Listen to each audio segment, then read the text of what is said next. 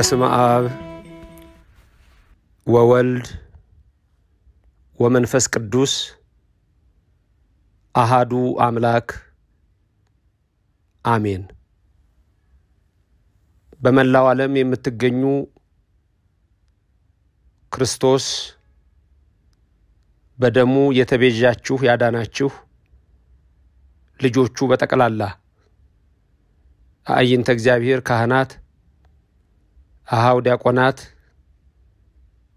የቤተ ክርስቲያን ጌጦች ምዕመናን፣ አባቶች፣ እናቶች፣ ወንድሞችና እህቶች እግዚአብሔር አምላክ የሚወዳችሁ ሕፃናት ጭምር የእግዚአብሔር አብ ጸጋ የእግዚአብሔር ወልድ ቸርነት የእግዚአብሔር መንፈስ ቅዱስ ኅብረት አንድነት በእኔም በባሪያው በእናንተም በሁላችሁ አድሮ ይኑር። ቅድስተ ቅዱሳን ድንግል ማርያም አትለየን። እግዚአብሔር አምላክ በታላቁ ቅዱስና አባት የኢየሱስ ክርስቶስ አባት በተባለ በቅዱስ ዮሴፍ በረከት ሁላችሁን ይጎብኛችሁ። ሰላምታዬ ይድረሳችሁ። የተዋህዶ ልጆች፣ የኦርቶዶክስ ልጆች፣ ክርስቲያኖች በጠቅላላ ሌሎችም ይሄ ድምፅ የሚሰማችሁ ሁሉ እንደምን አላችሁ? ለአስራ አራተኛዋ ቀን የአብይ ጾም ዕለት ያደረሰን ሁሉን የሚችል የሰራዊት ጌታ እግዚአብሔር ከዘላዓለም እስከ ዘላዓለም ለስም አጠራሩ ክብር ምስጋና ይግባው። ዛሬም በማቴዎስ ወንጌል ምዕራፍ አራት ቁጥር አራት ላይ ለመጀመሪያው ፈተና ጌታችንና አምላካችን መድኃኒታችን ኢየሱስ ክርስቶስ በልብ መታሰቡ በቃል መነገሩ ከፍ ከፍ ይበልና ለፈታኙ ዲያብሎስ በመለሰለት መልስ ላይ የምንነጋገርበትን ትምህርት እንማራለን። ይህም ሰው የሚኖረው ከእግዚአብሔር አፍ በሚወጣ ቃልም ጭምር እንጂ በእንጀራ ብቻ አይደለም የሚል ይሆናል። ስለዚህ ለዛሬ ርዕሳችን እንስሳዊ ባህሪ ያላቸው ሀገርና እምነትን ያጠፋሉ በሚል ኃይለ ቃል ይሆናል። ሰው ለሰው አስታዋሽ ነው። ሰው ለሰው አሳሳቢ ነው። በልቡና የሚያሳድር በአእምሮ የሚቀርጽ የቃሉ ባለቤት ሕያው እግዚአብሔር ከዘላለም እስከ ዘላለም ምስጉን የሚሆን እርሱ ቃሉን በልባችሁ ይጻፍላችሁ፣ በአእምሯችሁ ይቅረጽላችሁ። ስለ አንዱም ፈንታ ሰላሳ ስድሳና መቶ ያማረ ፍሬ እናፈራ ዘንድ ረድኤቱ ሁሉ ከእኛ ጋር ይሁን። እግዚአብሔር አምላክ ባላችሁበት ስፍራ ይጠብቃችሁ።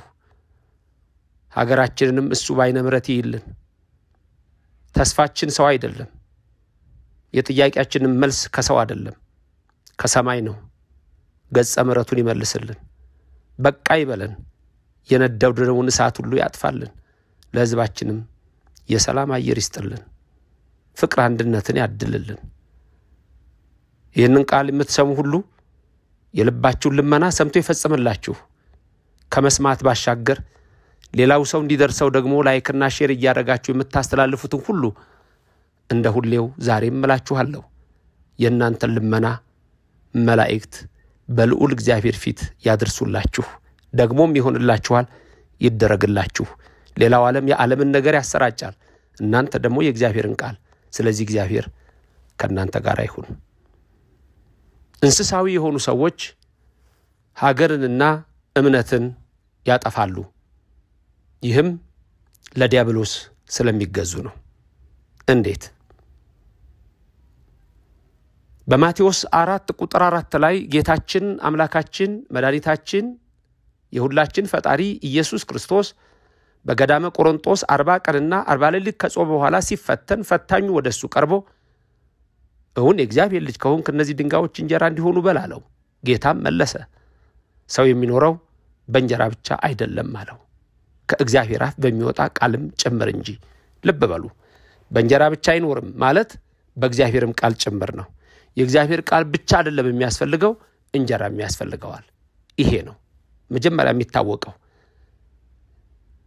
እግዚአብሔር አምላክ የሰማይ አባታችሁ ነው ብላችሁ ጸልዩ ሲል የዕለት እንጀራዬን ስጠኝ ሲል አንድ ዘላለማዊ ሕይወትን ስጋውን ደሙን ሌላው ደግሞ የዕለት ጉርስ፣ የዓመት ልብስ።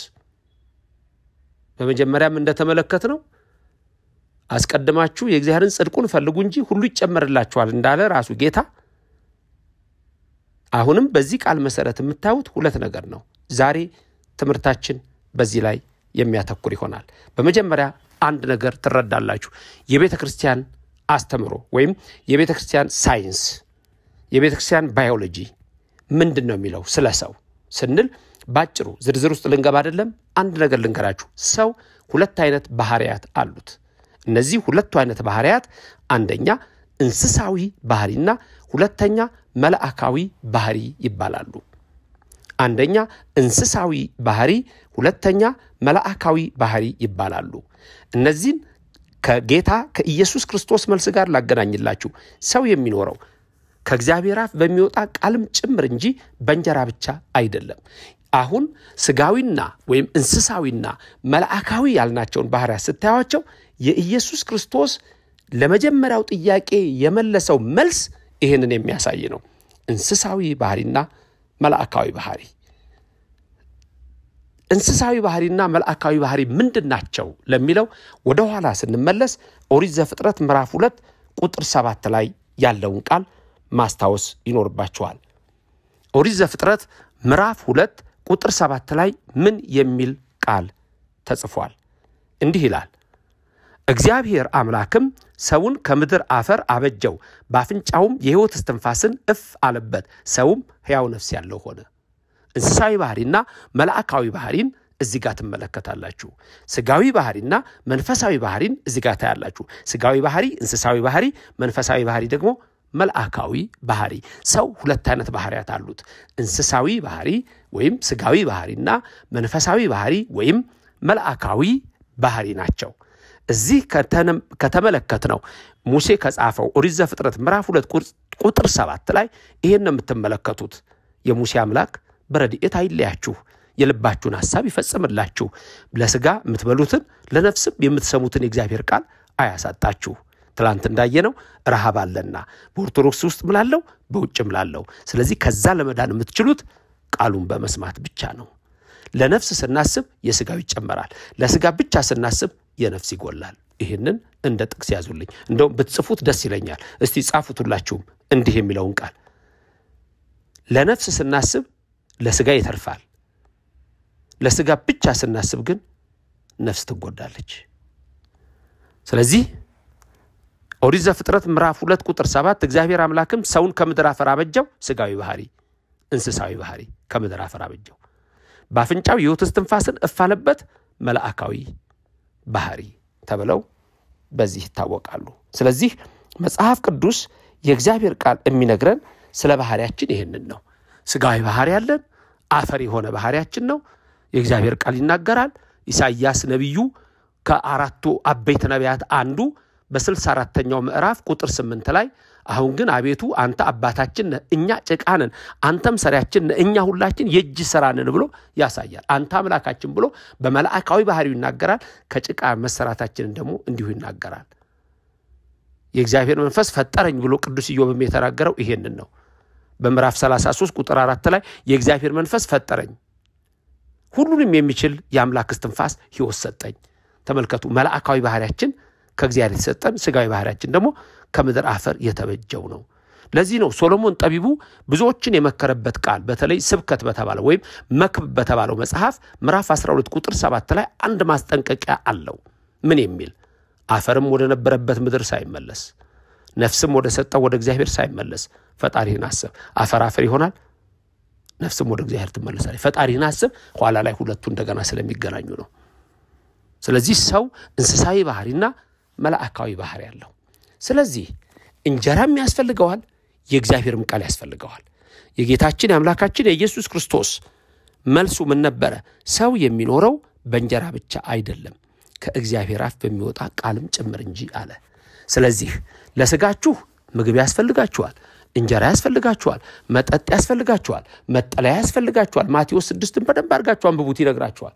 ያስፈልጋችኋል። ለስጋ መስራት ኃጢአት አይደለም። ለስጋ ብቻ መስራት ግን ኃጢአት ነው። አሁንም አስምሩልኝ እዚህ ላይ ለስጋ መስራት ኃጢአት አይደለም። ለስጋ ብቻ መስራት ግን ኃጢአት ነው።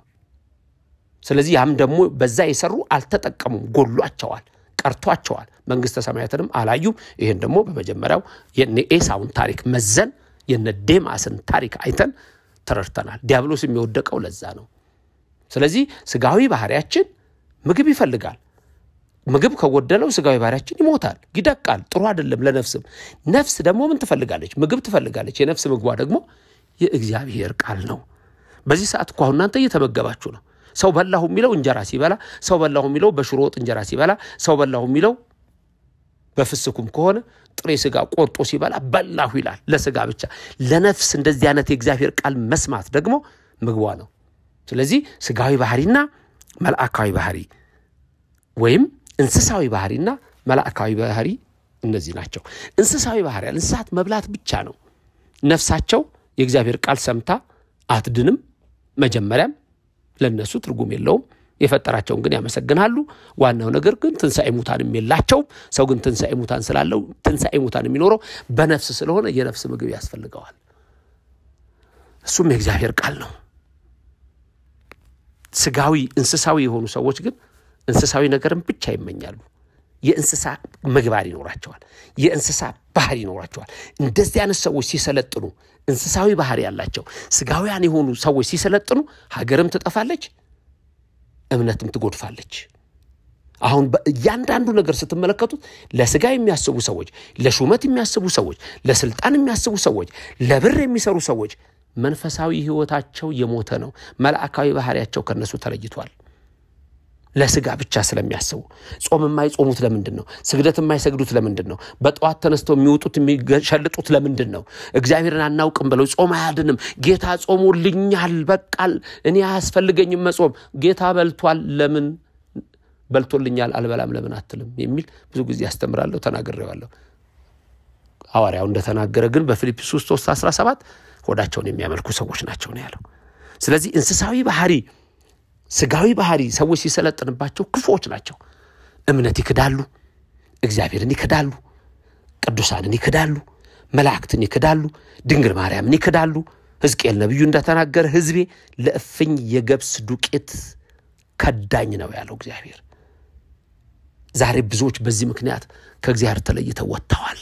ስጋዊ ብቻ ስለሆኑ ሰው የሚኖረው በእንጀራ ብቻ አይደለም ከእግዚአብሔር አፍ በሚወጣ ቃልም ጭምር እንጂ ስጋዊ ባህሪያችንና ወይም እንስሳዊ ባህሪያችንና መልአካዊ ባህሪያችንን አመጣጥነን ካልኖርን እንቸገራለን። ይልቁንም ደግሞ ስጋ ለነፍስ መገዛት አለባት። መሪዋ ነፍስ ናት። ስጋ ተገዢ ነው። ስጋን ግን ገዢ ካደረጋችሁት፣ የበላይ ካደረጋችሁት ለነፍስ ያን ይወድቃችኋል። ስለዚህ ዛሬ ሀገራችን የምትታመስበትን ቤተ ክርስቲያናችን የምትታመስበትን ጉዳይ ስታዩ እንስሳዊ ባህሪ የሰለጠነባቸው እንስሳ ሰዎች ተነስተው ነው።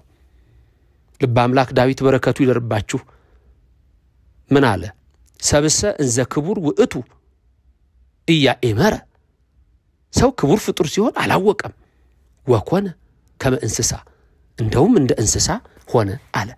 እንስሳዊ ባህሪውን ብቻ ስጋዊ ባህሪውን ብቻ ሲከተል በቃ አህያ ሆነ፣ ፈረስ ሆነ፣ እምብርት የለውም። መብላት መጠጣት ወገኔ ከዚህ ውጣ። የእግዚአብሔር ልጅ ከሆንሽ ከዚህ ተለይ። ለእግዚአብሔር መገዛት። ዛሬ ብዙዎች እንስሳዊ ባህሪ፣ ፍየላዊ ባህሪ፣ ፍየል ያገኘችውን ቅጠል መበጠስ እዛም እዛም። ኃጥአን የተመሰሉት በፍየል ነው።